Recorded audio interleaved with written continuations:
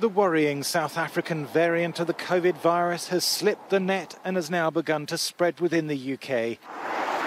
Woking in Surrey has two of the 11 cases identified nationwide in recent days who have no links to South African travel. They were detected by chance and there could be more.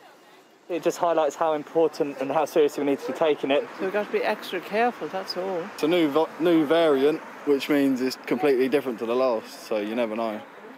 Public Health England will urgently test 80,000 people in eight areas where the mutated virus is known to have spread.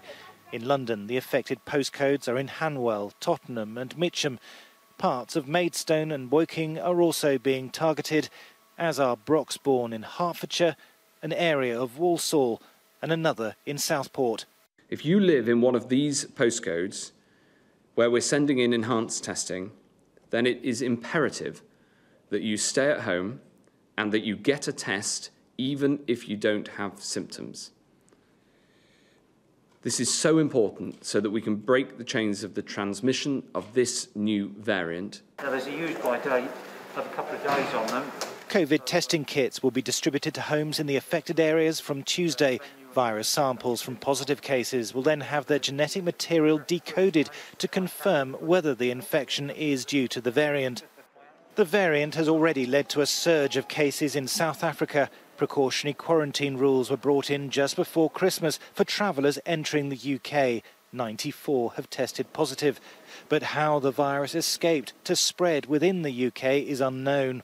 By the time the Kent variant was detected, the virus was already out of control and it swept rapidly around the country. This time, public health teams believe they spotted the early sparks of an outbreak. And with early action, it gives them a much better chance of snuffing it out.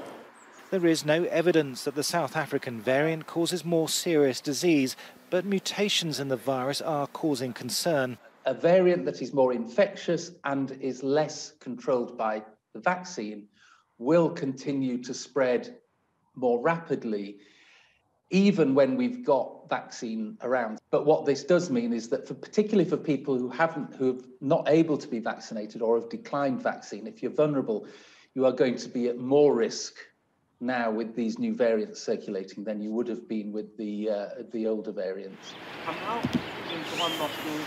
Public Health England says all the vaccines should still prevent serious illness and death, but Moderna is developing a tweaked version of its jab against the South African variant as a precaution.